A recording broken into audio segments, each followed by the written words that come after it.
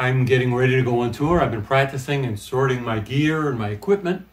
And one thing that's come to mind to me this last uh, week before I leave for tour is dampening the strings. I dampened the strings on a lot of uh, the new album, Peter Gabriel's new album.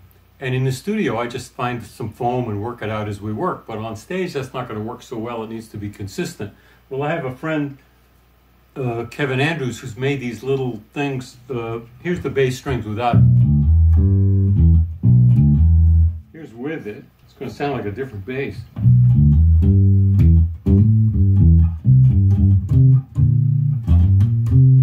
And what's more, he made some with uh, different thicknesses that I'm experimenting with. And I hope this is going to stay still when I play live and maybe run around stage.